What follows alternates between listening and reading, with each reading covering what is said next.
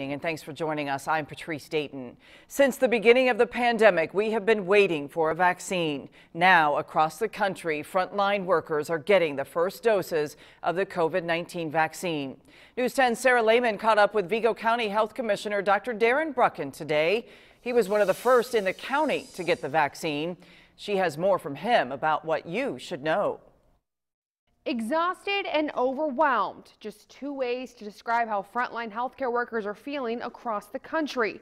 But now they're seeing a small glimmer of hope. The COVID-19 vaccine has made its way into the Wabash Valley, and our frontline healthcare workers are lining up to get vaccinated. All of us that have taken the vaccine and that are excited, just ecstatic about the vaccine being here, we know that this is the beginning. This is this is how we get through this. Dr. Darren Brucken was one of the first healthcare workers to get the vaccine in Vigo County. Not only is he a doctor at Regional Hospital, He's also the Vigo County Health Commissioner. He says this is an exciting time, and everyone may be breathing a sigh of relief and seeing the light at the end of the tunnel.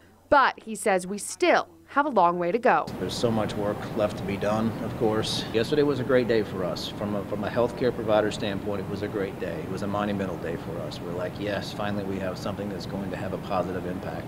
Um, but that's balanced against the negativity um, as well because we're still, you know, we're still burying people right now. Dr. Brucken says it's important for everyone to get the vaccine. He says it will be the only way we can get herd immunity and bring an end to this pandemic. The risk of uh, side effects from vaccine versus the risk of contracting you know, COVID-19 and, and ultimately dying from it, because uh, we, we see that. We see that every single day. So if people want to return to normal, which all of us do, we got to get vaccinated. Dr. Brucken asks you to continue to mitigate while the vaccination process happens.